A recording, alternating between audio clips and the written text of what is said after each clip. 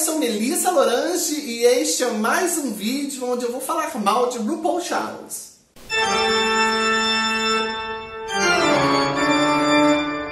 Então, tem uma frase que a RuPaul fala, ou falava na verdade, ela não fala mais muito não, mas ela falava muito na época do Drag U, do Drag University, que ela botava lá as drag pra montar as amapô e mudar a vida delas, né? Enfim.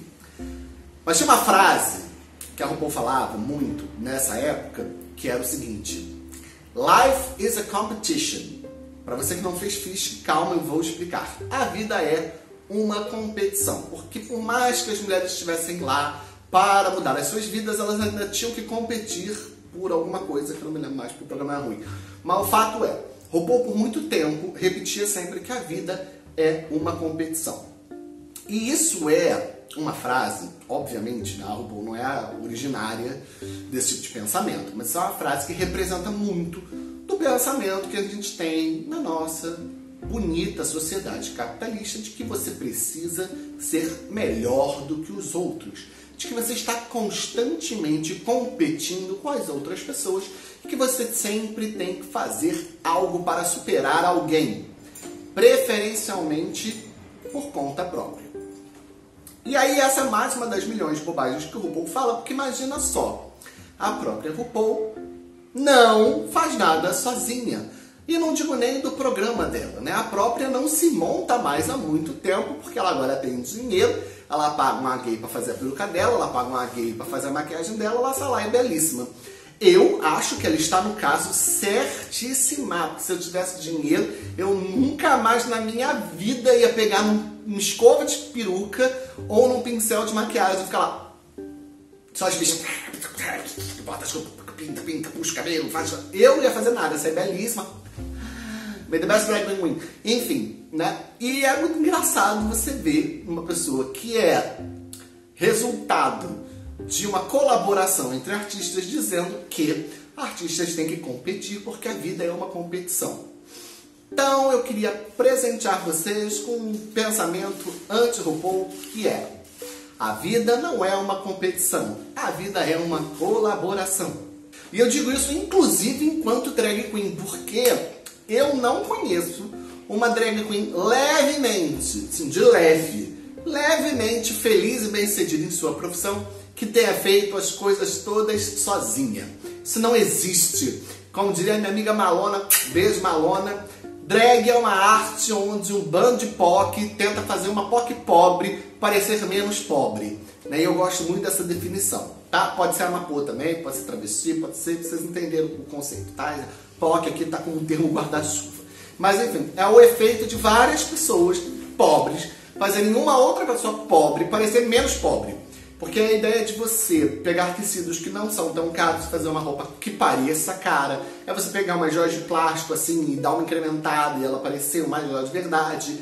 É você pegar uma peruca de carnaval, dar um e deixar ela bonita, entendeu? É a arte colaborativa de montar uma drag queen no final da história eu mesma não consigo existir neste canal sozinha. Nesse momento tá a mulher ali atrás, olhando tudo que eu estou falando, meu irmão que é outra POC aqui me ajuda a gravar e eu não consigo gravar sozinha. Quer dizer, eu até conseguiria gravar sozinha, mas eu gastaria o dobro do tempo, teria muito mais trabalho do que pedindo ajuda para as pessoas. Aqui do Ronaldo, que edita as fotos, enfim. Eu não faço nada sozinha. E eu tenho trabalhado muito com a Yanxi no podcast das Velhas Amargas, que também é uma coisa que eu não ia ter paciência de fazer sozinha. Então, ando com muitos projetos que podem parecer solitários ou apenas em dupla, mas eles são de fato colaborativos. Existe no corporativismo, não é mesmo? No LinkedIn, disfarçado de opiniões otimistas, uma ideia de que você precisa o tempo inteiro se superar e superar as outras pessoas. Que você, para ter uma boa promoção, você precisa sempre fazer melhor do que os seus colegas de trabalho. E isso é uma idiotice. Porque olha só, se para montar uma drag, que é um negócio assim, que nem dinheiro dá, mas para montar uma drag precisa de uns 30 viados em cima, entendeu? As pessoas tudo ajudando. Imagina para fazer a empresa lucro. Não faz o menor sentido esse tipo de pensamento de botar as pessoas funcionar pobre, funcionário, proletário, pobre, uns contra os outros, entendeu? Para você ganhar lucro. Na verdade, faz sentido. Porque pensa bem, se eu coloco os meus funcionários, funcionárias, funcionários, se eu sou uma empresa inclusiva, para disputar uns com os outros e assim me dar lucro, eu não preciso jamais me preocupar com uma coisa perigosíssima para patrões, que se chama sindicato. Porque veja bem, se as pessoas que trabalham para mim estão muito ocupadas tentando passar as pernas umas nas outras e tentando ser melhor umas que as outras, elas não têm tempo, qualidade de vida para discutir entre si e concordar contra mim, que sou uma pessoa só, no caso, a patroa, tá? Então, eu, patroa, quero mais do que meus funcionários guerreiem uns com os outros para me dar lucro, porque aí, no caso, eles não podem se juntar contra mim. Isso tudo é um pensamento muito cruel e é por isso que você tem esse discurso constante de que você precisa dar o seu melhor e ser melhor que todo mundo. Então, digamos que eu sou uma patroa, certo? E aí eu fico o tempo inteiro incentivando a disputa entre meus funcionários, certo? Vocês, pobres, que trabalham para mim, que sou detentora do poder financeiro, do capital financeiro aí da parada.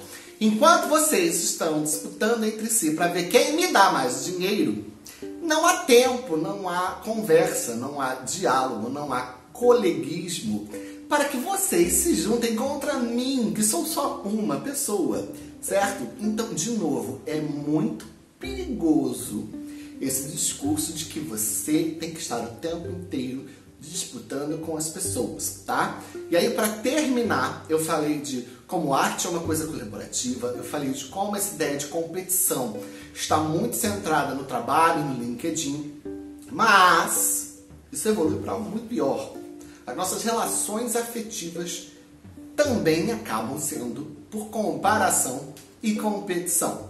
Então você cresce com a ideia de que você precisa ser melhor que a sua prima, que a sua irmã, que a sua sobrinha, com a, com a vizinha, que a sua mãe tem que ter orgulho de você. E a sua mãe só vai ter orgulho de você se você for melhor que outras pessoas.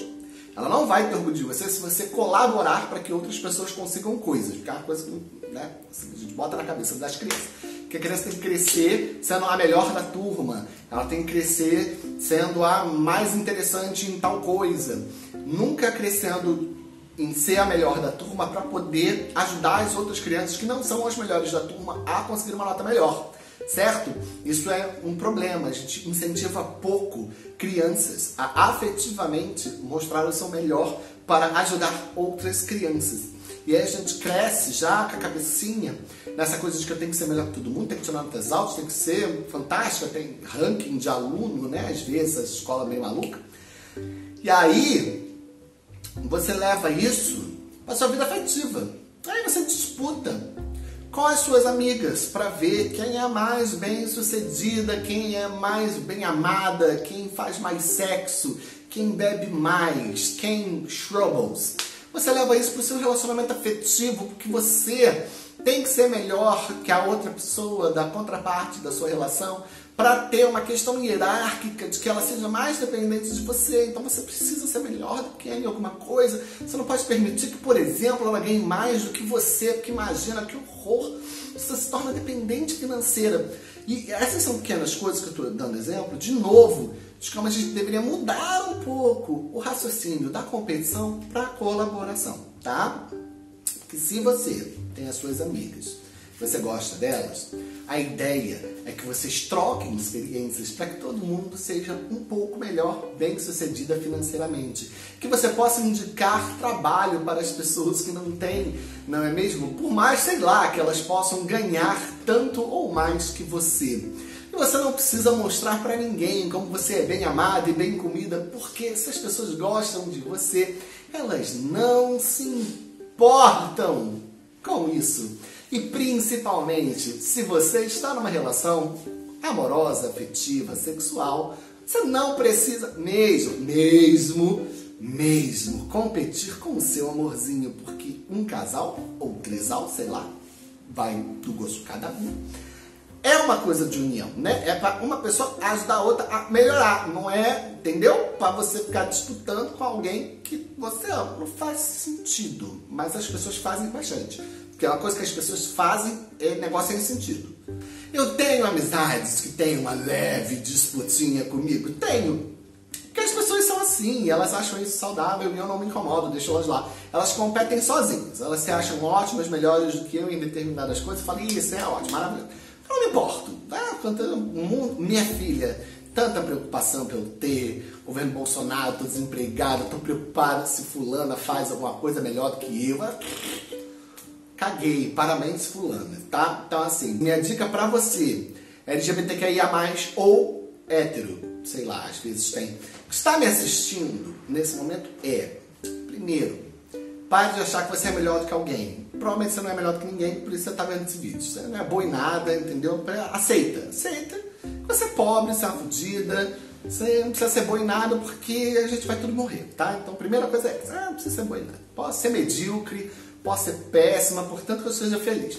Mas falando sério, pensem em como vocês cresceram a vida inteira competindo com tudo à sua volta. Com seus colegas, com seus familiares, com as pessoas que vocês gostam, com seus colegas de trabalho, não é? Esse clima o tempo inteiro belicoso desgasta muito a gente.